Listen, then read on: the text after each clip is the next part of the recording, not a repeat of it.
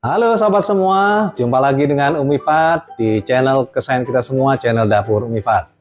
Nah, di video kali ini saya akan masak ya sejenis sayuran. Dan saya akan share resep ini kepada sobat semua. Nama masakannya ini adalah uh, sayur pakcoy. Jadi sayur pakcoy ca daging sapi. Masakan ini sangat simple ya, sangat gampang sekali prosesnya dan cepat tetapi rasanya luar biasa enak. Oke, sahabat semua, ikuti penjelasan selanjutnya. Saya akan menjelaskan mengenai bahan dan bumbu apa saja yang saya gunakan untuk memasak uh, pakcoy ca daging sapi ini. Nah, bahan yang saya gunakan untuk memasak uh, sayur capcoy, uh, pakcoy ya, sayur pakcoy ca daging sapi ini pertama ini saya gunakan 500 gram uh, sayur pakcoy ya Kemudian nanti saya akan tumis ya, jadi supaya dia layu dengan air dan uh, bawang putih serta garam ya.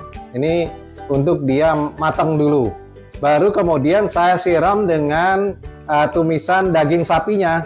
Nah ini daging sapi nanti saya akan iris tipis ya. Ini sudah tipis nanti saya akan buat kecil-kecil lagi. Kemudian untuk bahan uh, bumbu tumisan yang lainnya ini bawang putih, uh, garam, kemudian lada dan kaldu jamur. Uh, yang lain adalah kecap manis, kemudian kecap ikan, uh, saus tiram, dan uh, sedikit uh, wijen ya. Dan untuk mengentalkannya saya akan gunakan tepung mesina. Ya, ini juga boleh menggunakan tepung mesina untuk mengentalkannya, boleh juga tidak. Oke, sekarang saya akan haluskan dulu bawang putihnya untuk menumis uh, sayur pakcoynya itu.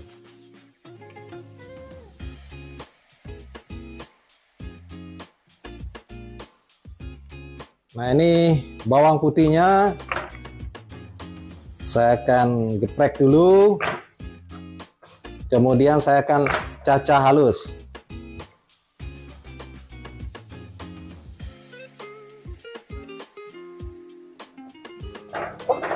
Oke, ini udah lumayan halus. Kita akan tumis dengan air ya uh, untuk uh, sayur pakcoynya. Nah, sayur pakcoynya ini sebelum saya tumis, saya potong dulu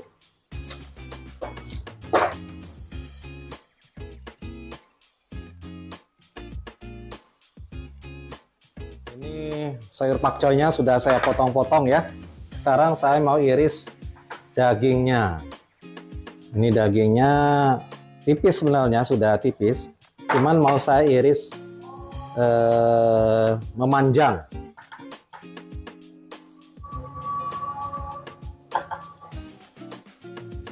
Ini saya gunakan sekitar 300 gram daging sapi.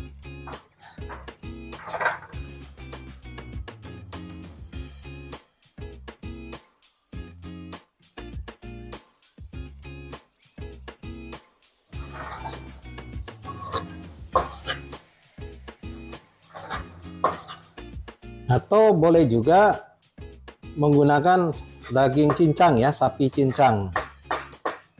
Oke ini sudah.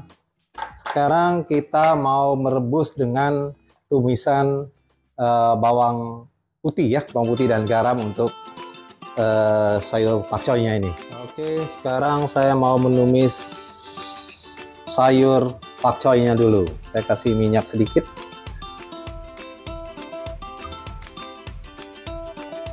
Oke.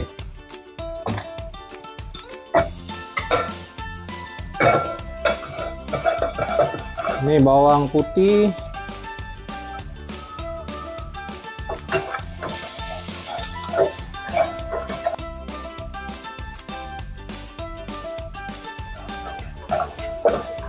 Sebenarnya bisa juga uh, sayur pakcoynya direbus ya. Tapi uh, kalau tanpa bawang putih itu kurang harum ya. Dan sedikit rasa garam ya.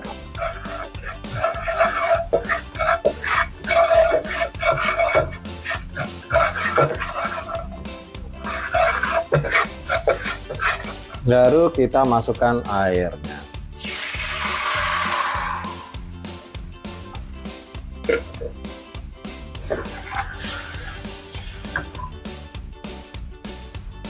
Ini sekarang air tumisan bawang putihnya sudah mendidih ya. Sekarang kita masukkan sayur pakcoynya sampai layu dan sampai mateng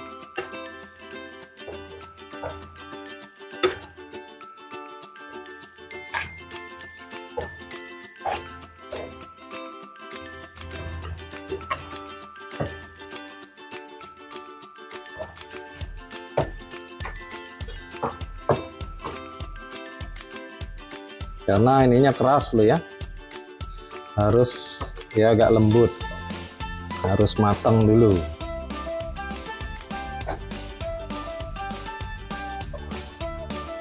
Oke ini sayurnya sudah lembut ya batangnya ini. Sudah bisa kita angkat ya. Saya matikan dulu api kompornya ya untuk kita angkat dulu sayur pakcoynya. Ya sekalian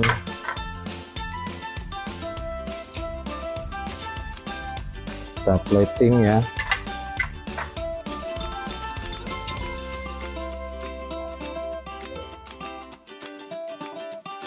Nanti di atasnya baru kita siram tumisan daging sapinya.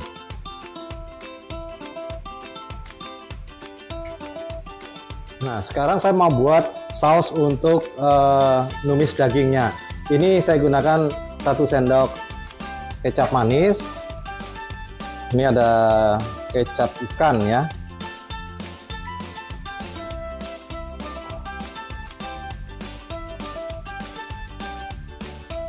Ya, sekitar setengah sendok aja.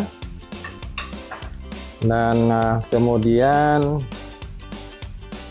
saus tiram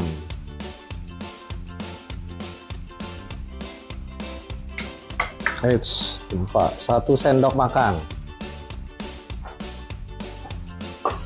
Nah, saya tambahkan untuk e, minyak wijen sedikit aja, ya. Kalau nggak suka minyak wijen, nggak usah ya. Ya, sedikit aja. Karena minyak wijen ini e, baunya sangat busuk ya. Nah ini uh, garam, lada dan kaldu uh, jamur ya kaldu jamur. Saya tambahkan di sini.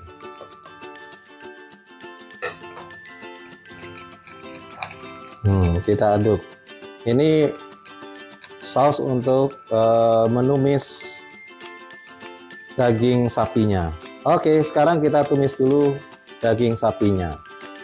Ini sudah apa bawang putih sudah di halus ya, sudah dihaluskan, tinggal kita tumis. Oke, okay, saya tumis dulu. Nah, sekarang kita proses untuk menumis daging sapinya. Ini wajan sudah saya panaskan. Saya tambahkan minyak sampai panas, baru kita masukkan bawang putihnya.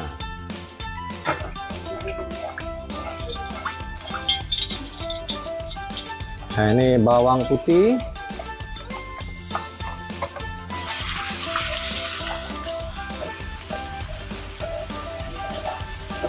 sampai kuning ya dan mengeluarkan aroma harum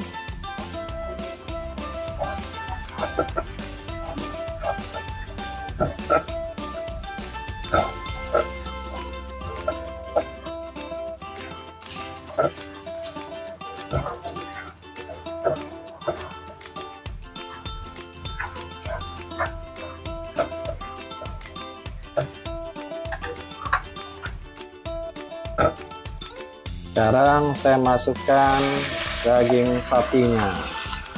Irisan daging sapi.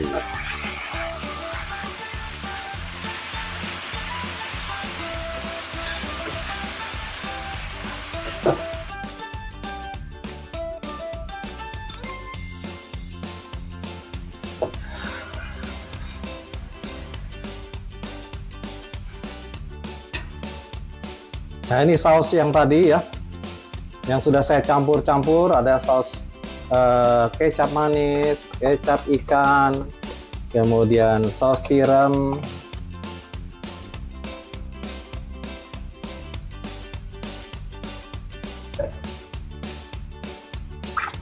garam ya sudah ada di semua di sini.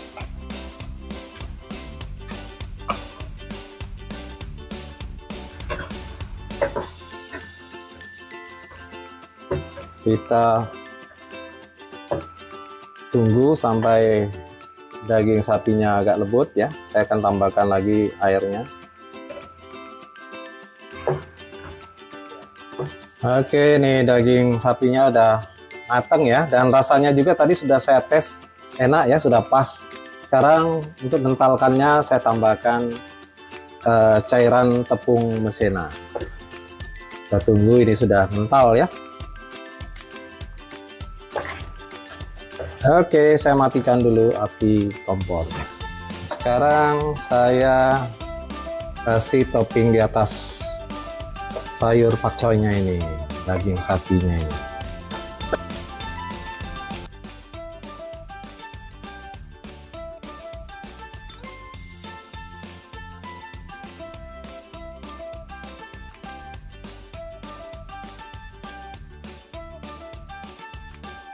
Sobat semua, jadi ini sayur pakcoy cah daging sapinya sudah selesai Om Ifat masak. Jadi ini mantap sekali ya sobat semua, daging sapinya di atas. Tadi pak, sayur pakcoynya eh, saya susun di bawah ya. Jadi enak sekali, ini saya sudah cicipi tadi. Eh, sobat semua di rumah layak untuk coba ya nanti. Sesuai dengan resep yang Om Ifat share di video ini. Oke, terima kasih sobat semua sudah menyaksikan video ini. Semoga bermanfaat.